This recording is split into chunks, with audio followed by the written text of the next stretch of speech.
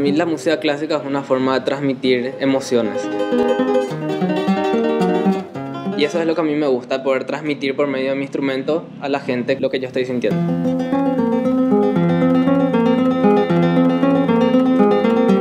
Cuando yo me decidí por completo a la guitarra clásica tenía 8 años.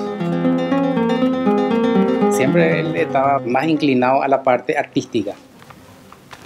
La verdad que yo siempre escuchaba muchos estilos. Escuchaba también a Agustín Pío Barrios y sus obras a mí me llenaban.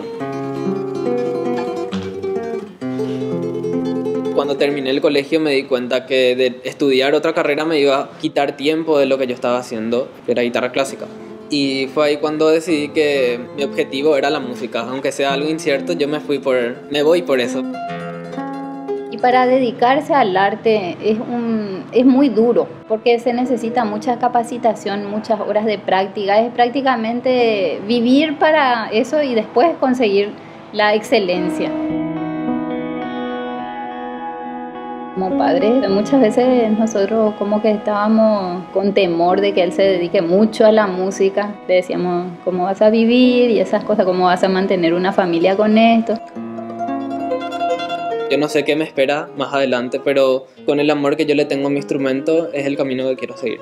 Acá en Ciudad vemos que hay muchos talentos jóvenes, ¿verdad? Y ellos ya forman parte de la historia, ¿verdad? Y en la parte cultural reciben muy poco apoyo ya que acá en Ciudad del Este no había muchas oportunidades. Hace cuatro años más o menos que empecé a viajar a Asunción dos o tres veces al mes para seguir mi estudio de guitarra.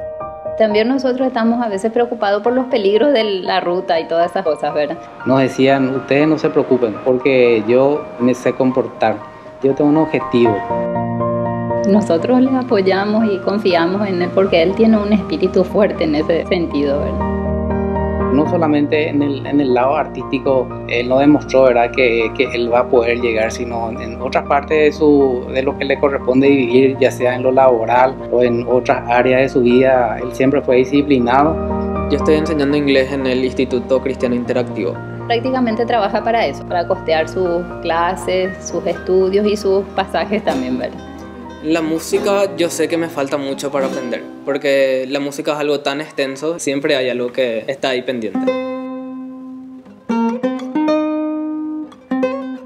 Pururú para mí es una oportunidad muy grande. Es la primera vez que formo parte de un ensamble de guitarra.